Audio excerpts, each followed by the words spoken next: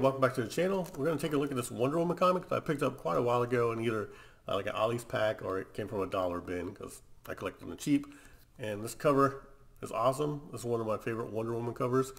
So I finally got a chance to read the story itself. It's pretty cool. This is from the New 52 era. This is a comic from 2015. Uh, it's in the middle of a storyline, uh, but the comic itself is a good story and I did like it. So it's about Wonder Woman becoming, or she has become the Greek god of war. So she's taken Ares' place, and that's to do with like the psychological issues that may cause her. Being war is, you know, evil and bad in itself. If it will consume her way of thinking, where she's going to bring war to wherever she goes. Uh, it also goes into like her not being able to really be much as, as attached as the Queen of the Amazons and to defend only her her um, her realm. She's everywhere now, being the Greek god of war, and taking on that mantle. Uh, very cool art. Starts with a cool battle uh, like a cool dragon. We'll take a look at some of the panels here. I do like the art in here. All right, so here's some of the art. Of course, he's in the cover, which is awesome. You have a Gotham ad there. You have a battle scene. I'm not going to show the whole thing, but this is really cool. This is how you start off a comic to me. you have this awesome looking Amazon fighting this huge dragon with multiple heads. Amazon charge. Uh, you have the uh, battle below here. Dragon looks like he's winning. so this is a cool opening scene, I think. You know, this second page starts with the battle. Got the charge down here. You have this awesome dragon, which is very cool looking, I think.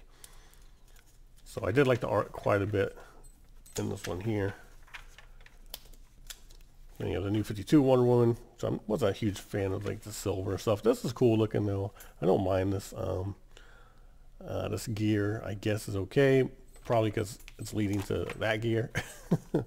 uh, but this is okay. I'm not a huge fan. I like the more classic Wonder Woman look, but I think this looks good. I think this is a cool, cool picture with the sword and uh, the hair looks good. And the here's more of a classic looking Wonder Woman um, with the lasso, and she's going to confront confront the dragon here.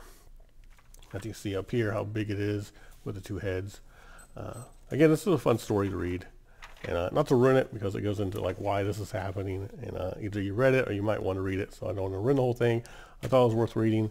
Uh, the art's cool and this cover alone if you're under two bucks I think you should get it if you're a Wonder Woman fan. Uh, Batman and Superman do show up for a little bit. Uh, not a big fan of the Superman art. Maybe it's a new 52 era thing. I'm not really familiar with the whole new 52 uh, but this is a cool comic. If you're a Wonder Woman fan and know this whole story if it's like worth maybe uh, seeking the whole storyline, let me know in the comments below. Um, but yeah, this is a pretty cool pickup, I think, for the, for the cover alone. Because a lot of times I'll pick up a cool cover and the story is really just not there. But this was a fun read, uh, good art. I get a lot. Uh, again, it's from 2015. Well, hey, thanks for watching Triple R. Have a good day or night wherever you are. Smash that like button for me. Hit subscribe. It does help, and I do appreciate it. Thanks.